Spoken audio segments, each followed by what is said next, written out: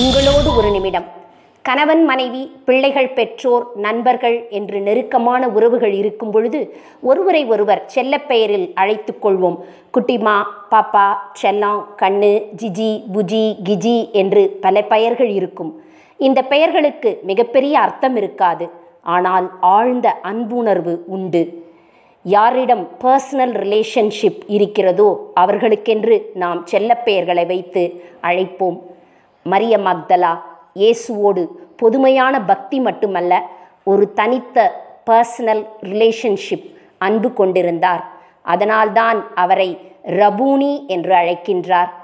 இயேசுவும் மரியாளை மரியா என்று பெயர் சொல்லி அழைக்கின்றார். நான் ஆண்டவரை கண்டேன் என தைரியமாக இந்த மரிய மக்தலா கூறுகின்றார்.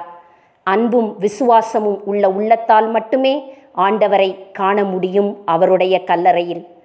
இயேசுவின் உயிர்ப்பில் நாமும் மரிய மக்தலாவைப் போல் நான் ஆண்டவரை கண்டேன் என்று சொல்ல முடியுமா? நன்றி. சகோதரி ஜெய்சீலி.